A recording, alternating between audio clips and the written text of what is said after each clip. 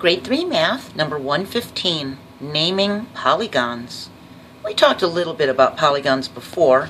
We've been discussing geometry. So I'm going to go over polygons again, just to show you some other stuff here.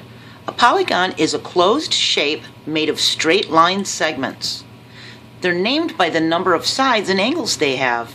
They have the same number of sides as they do angles. So let's look at this triangle here. The triangle has three sides. One, two, three. One, two, three. In fact, the beginning of the word tri means three. So this triangle has three sides. It also has three angles. One, two, three.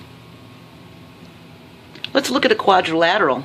A quadrilateral has four sides and four angles, and all these purple ones are quadrilaterals. One, two, three, four sides, one, two, three, four sides, and one, two, three, four angles. See? One, two, three, four. Four sides and four angles.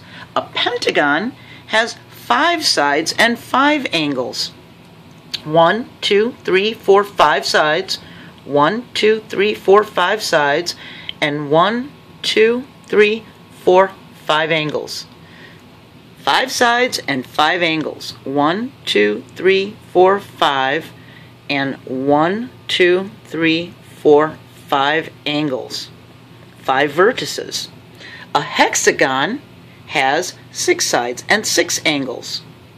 It doesn't matter how you draw it as long as it's closed and that it's got straight line segments for sides.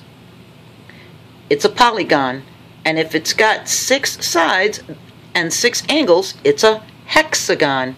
And the prefix hex means six. I wanted to tell you that the prefix pent means five and quad means four. Okay? So, hexagon, six sides, six angles.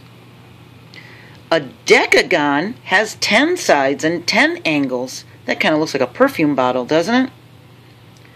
So, ten sides and ten angles 1, 2, 3, 4, 5, 6, 7, 8, 9, 10 sides, and 1, 2, 3, 4, 5, 6, 7, 8, 9, 10 angles. 10 sides and 10 angles.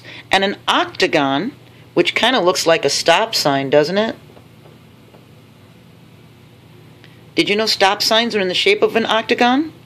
It has 8 sides and 8 angles and as long as it's closed and it's made of straight line segments, then it's a polygon, and if it's got eight sides and eight angles, it's an octagon. So remember, they've got the same number of sides and angles, and they have to be closed and made of straight line segments. And those are some of the polygons that we have in math. I'll see you next video. Keep up the good work.